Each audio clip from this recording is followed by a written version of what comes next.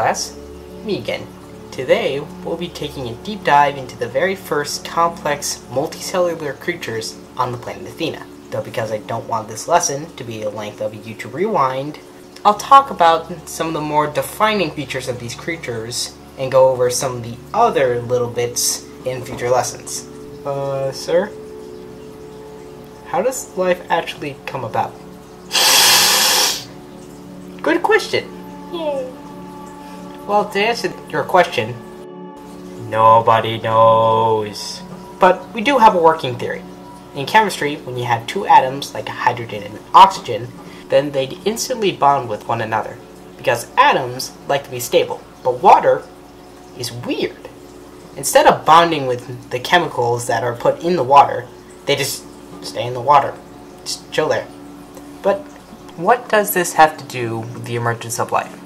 The theory is that the chemical soup supplied by hydrothermal vents and the heat from them, and a few other little chemicals here and there, may supply conditions necessary to make some very, very basic life.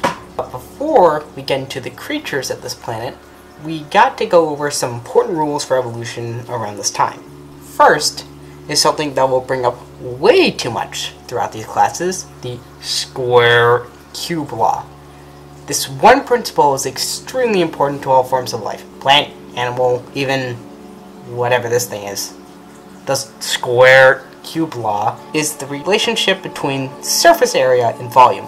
Volume is basically the stuff inside the creature, and surface area is the area you have for chemical reactions, which is basically doing stuff like gas exchange, photosynthesis, sight, heat loss, etc. Something else that's important around this time are niches. A niche is essentially the role an animal plays in its ecosystem, like producer, consumer, secondary consumer, decomposer, scavenger. I think you get the idea. Though, if more than one species is in one niche at a time, it results in one of those species saying adios from the gene pool. There are many ways that a creature can be structured, but there are some rules that a creature must follow. Number one, symmetry. Number two, uh, sir? Uh, what does symmetry have to do with animals? Everything, my boy! Okay, there's a few different types of symmetry. There's bilateral symmetry, where an animal is mirrored on two sides. Radial symmetry, where an animal is mirrored on a central axis, like a starfish. And there are some creatures that just have no symmetry at all. Weirdos. But why is symmetry important? Well, the way that these creatures are structured can show how active they are, behaviors, and unique anatomy. For example, pretty much every creature that walks is bilaterally symmetrical, as it's easier to walk when your limbs are parallel to each other. And most radially symmetrical creatures are sessile, meaning they're couch potatoes and don't really move.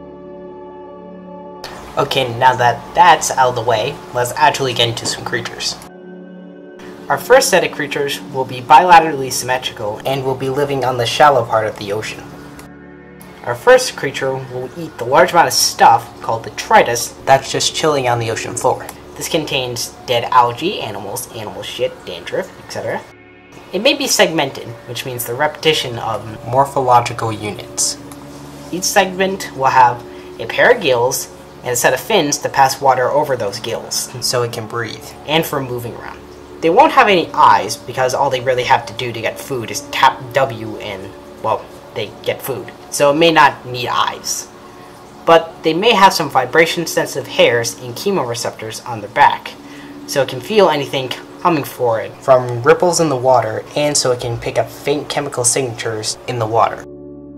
It may have a flat jaw that can scoop up any detritus from the floor, and some more chemoreceptors in the mouth for taste. For eating, it will have a simple gut that's just a tube that runs from one end of the animal to the other, also called the through gut. For the worm to smash, they may have a set of gametangia near its booty that'll release sex cells or gametes into the water and those chemoreceptors may come in handy because since the gametes do give off a chemical signature, if one individual senses gametes in the water, they'll just release theirs. And after those two gametes unite, then boom, a new individual is born. They will need a way to process all this information. So it may have a simple nerve cord going from the front of the animal to the back so it can carry the information. But Now there's one more problem for this creature. It needs a way to carry the oxygen from the gills to everywhere else in their body. So it may have a sac filled with red iron-based blood and muscular rings around it so it can pump the blood everywhere else. This is known as an open circulatory system, where blood isn't continuously flowing throughout your veins but instead just pumped into certain cavities where oxygen can be exchanged. Not exactly the most efficient. And with that, we will call this creature Detritus skilliki, the detritus worm. Next is our first creature that resembles an aquatic creature on Earth. Because of the universal properties of water and water physics, it's likely that aquatic creatures on other planets will resemble the basic shape of a fish because of the constraints put upon them by hydrodynamics. Just because these creatures do resemble a fish does not mean that they are any different from a fish. For starters, these creatures have six fins and a tail for maneuverability and propulsion. Six eyes gives them a very large field of view, and two wide mouths on the end of tubes that can catch algae and plankton on, on the surface of the water. Vibration-sensitive hairs on their backs and chemoreceptors in their mouths so they can taste what they're catching. Digestive, reproductive, and circulatory systems are basically the same as the worm, though they may have a dedicated heart as swimming needs more oxygen than sliding across the ocean floor. Though because these creatures can swim, they need a way to react to whatever's in front of it. So it may evolve the nerve cord and a nerve cluster or ganglion in its head so it can process the information from the eyes and chemoreceptors, so it can make out a response. Now this creature may sound very advanced for its time, but its eyes can only really see movement, and it's pretty small, only at 6 inches long. And it's very smooth brain. Like the worm, it just presses W to get food. And since there's always food around, they won't really need to stop swimming. So they'll have a similar respiration system to sharks on Earth, where they always need to move forward to pass new water over the gills to respirate. We'll call these fish Diploastoma, or tube mouth. Next is our second creature that resembles an aquatic creature on Earth. The squid is a meat-eating animal with six limbs on its back for locomotion, two limbs in the front with large suckers for grabbing meat, and limbs on its head to process the meat before it's ingested. It has four eyes on stalks that can swivel around. Though what's interesting about these squids is that they have a blind gut. A blind gut is basically a mouth with a stomach, but uh, no booty. Instead, the mouth serves as both a mouth and a butt. Nasty. This may sound like a downside, and it is. This mostly means that it's hard for them to digest plant matter, as plants do have very hard tissues that make it difficult to digest without a proper through gut. And their eyes are not the greatest, only really able to see basic shapes, but they are kind of smart for this time and they have chemoreceptors near their head so they can easily smell if there's any carcasses nearby for them to eat. They're 9 inches long, tentacles included, which makes it pretty long for the time. And since these animals will be actively looking for and processing meat, and they swim, they'll need similar body systems to what we discussed with Diplostoma. Though since they are actively at the bottom of the ocean, they may evolve copper blood, which is blue even though blue blood isn't as efficient as red iron blood like we have, it is better for deep ocean environments. Let's call this Jello Scavenger legal form, or squid form. Next is our first actual predator of Athena, the tunnel worm. This one's my favorite. This creature is about 9 inches long from end to end, and its bodily systems are similar to Diploastoma from digestive and nervous systems, though they have blue blood instead of red. They have 10 limbs, 5 on each side of its body for moving underground. An exoskeleton to protect from another creature, which I'll get into soon, and from sharp rocks underground. A ganglion and nerve cord to process sensory information, and a four-part beak for processing prey items. They have four limbs on the front of their body with chemoreceptors that are used to sense, lure in, and grab prey. Spiracles around its head for respirating, and muscles around each spiracle to pass new water over them to respirate. They have six eyes around their head which gives them total 360 degree vision. And finally, they house their gametangia in their mouth. That way, they can just unite their gametes right then and there when two individuals of the opposite sex meet each other. Though it's only really able to see motion, and it's pretty dumb, but it is one of the most successful predators on the planet at this time. Cuneicolum skeliki, or tunnel worm, is what we will call the subterranean predators. Finally, let's get into the radially symmetrical creatures of Athena. First is the plant thing. It has many arms with thin frills for high surface area on each of its arms, for respiration and catching falling detritus from the surface to feed, and a potent quote head with four eyes that can only really distinguish light from dark. The head will move up to its arms and lick any detritus off them. And when it senses predators nearby with either its eyes, chemoreceptors, or vibration-sensitive hairs, it'll move its limbs and head into its shell for protection. Every once in a while, it will shoot out gametes into the water via broadcast spawning. Broadcast spawning is where an animal shoots out an enormous amount of gametes into the water in hopes to unite to make a new individual. Seeing how sessile organisms can't move, this is the best way to reproduce for any sessile organism. It's got a blind gut, no blood since there's not much volume to this creature, and it doesn't have a dedicated brain.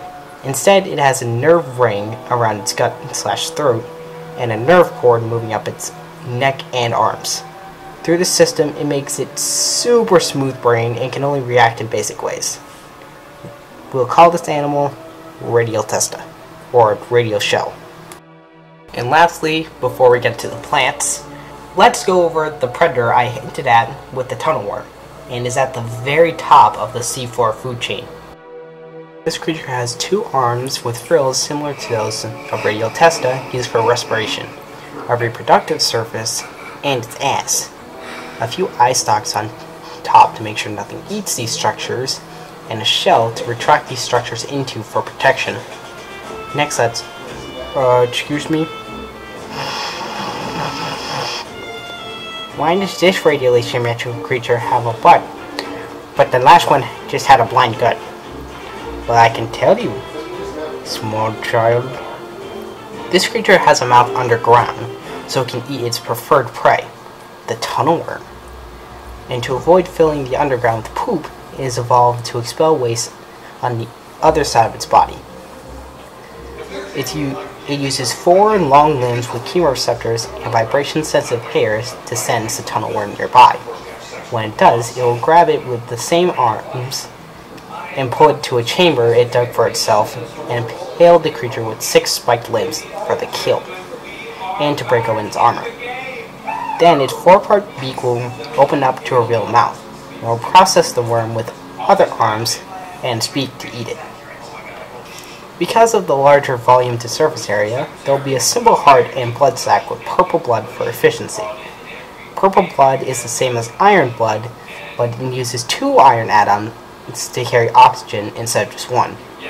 Around the digestive tract, there may be two nerve rings, one on top near the eyes and another near the mouth, so it can look for danger up top and prey below. We'll call this creature Tuluda, which stands for worm eater. Okay, this class has gone on for a while, so let's quickly go through the plant-like organisms of this planet.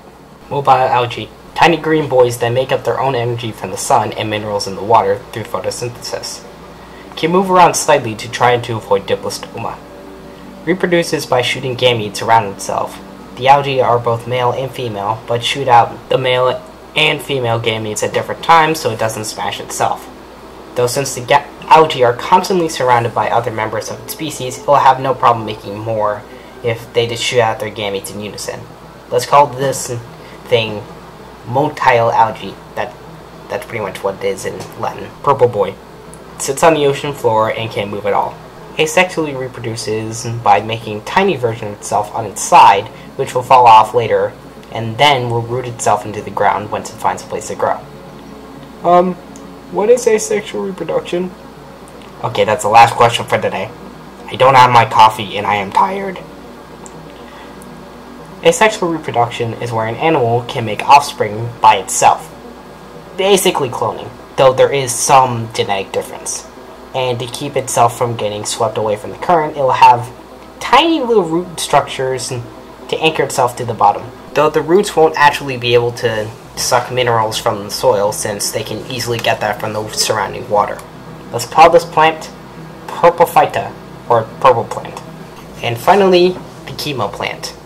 This plant uses the chemical soup supplied by hydrothermal vents where life came from and will reproduce asexually by shooting off the tips of its leaves, which will then make a new individual, which will in turn float upwards and then drop itself once it finds another hydrothermal vent, sentient with chemoreceptors. And let's call these mini chemical reactors chemophyta, or chemical plant. Well, that's it for now, class. Next time, we'll see how animals will develop to the open niches in our early oceans. Though it may take a bit longer this time since I don't actually have any of the models for the animals in Blender. Alright, bye! And don't forget your homework.